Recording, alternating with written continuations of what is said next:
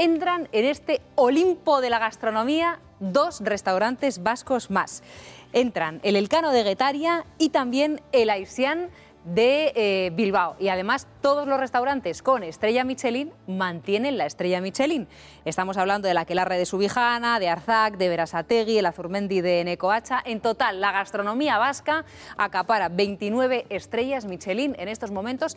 Y en fin, mirándolo todo por metro cuadrado, que sepan ustedes que Guipúzcoa es la zona de todo el planeta que más estrellas Michelin acapara. Bueno, un auténtico lujo. Enseguida vamos a hablar con uno de los protagonistas que ha... Ah, no, sí, ya está, está con nosotros ya. Bueno, José Miguel Olazabalaga del restaurante Aisian de Bilbao, Eguerdión. Eguerdión. Oiga, Sorionak, ¿no? Es que ricasco, bye, bye, bye.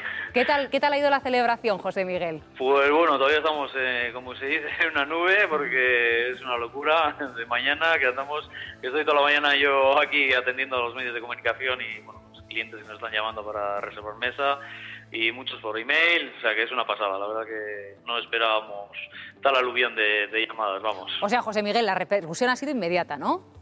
Sí, sí, la verdad que la gente se da cuenta enseguida y bueno, eh, los clientes habituales pues ya nos conocen, entonces esos imagino que esperarán un poquito más a venir, pero pero los, los otros, pues eh, la gente quiere venir ya y, venga, y conocernos, ¿no? Se dado cuenta que, oye, hay un restaurante más con estrella Michelin, pues venga, vamos a conocerlos. Oiga, a ¿ustedes, vez. ¿a ustedes cuándo les comunicaron que, eh, que tenían Pues- una estrella Michelin? ¿Fue anoche Pues o fue verdad un, que un poquito no, antes?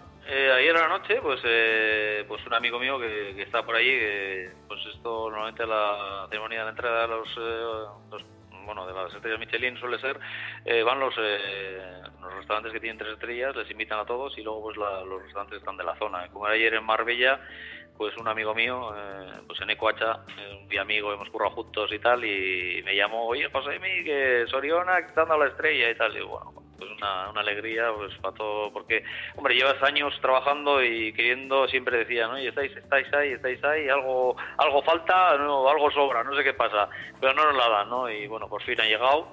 Después de 11 años aquí en la ISIAN pues nos han dado la estrella. Oiga, ¿y se lo esperaba? ¿En algún momento usted pensó que este año caía la estrella Michelin? Pues no, porque mira, el año pasado estuvo el de la guía Michelin y vino a comer y tal y, y bueno, eh, pues eh, estuve con él, pues, le- se presentó porque eso, pues necesitan datos para rellenar todo, de quién es el restaurante, tal, necesitan varios datos. Y me, me, me preguntó y tal, bueno, y, y nos hizo una crítica de maravilla. Lo que pasa que no nos, daba, no nos dieron la estrella Michelin, ¿no? Y veías la crítica y dices, joder, con esta crítica y no nos han dado la estrella. Pero este año, porque nosotros estamos dentro de un hotel, ¿y qué pasa? Que dentro de un hotel te viene gente a comer sola, pues un montón de gente. Entonces no sabes cuándo viene y cuándo no. Y no nos hemos enterado que han venido.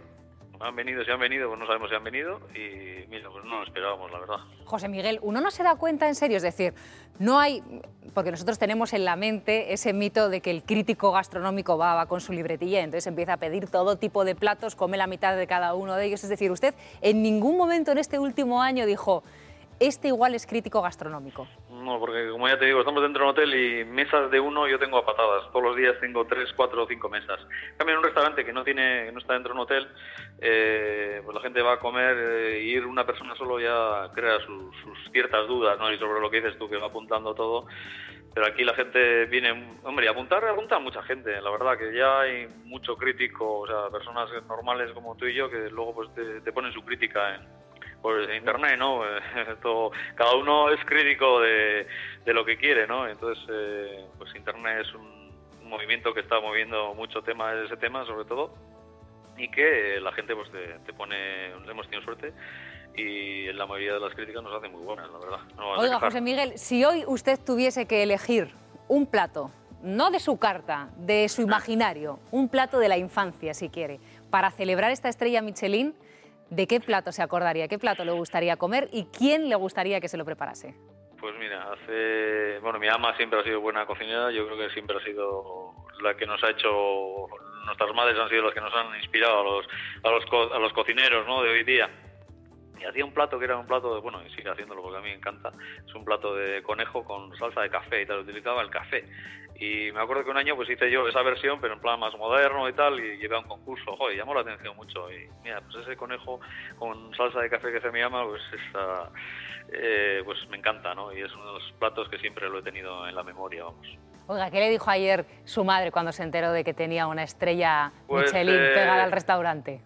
Pues me- le, le salían las lágrimas, como a mí, la verdad que te den la estrella, joder, tantos años luchando y, ostras, por fin, ya era hora, ¿no? Bueno, no sé, bueno, ya era hora o bueno, ya, ya hemos conseguido, ¿no? Y la verdad que eh, le di una alegría inmensa tanto a mi mujer también y a mis hijas, ¿no? Que encima casualidad ayer era el cumpleaños de mis dos hijas, las pequeñas, que hacían 10 años y fíjate qué manera celebrarlo. Bueno, José Miguel, disfrútelo, yo creo que de la mejor manera hoy trabajando, ¿no? Eh, sí, sí, no nos queda otro remedio, encima tenemos lleno, o sea que hay que aprovechar. Bueno, pues bienvenido José sea. Miguel. Es que ricasco, venga. Mierker, arte, José Miguel. Vaya, agur, agur, agur.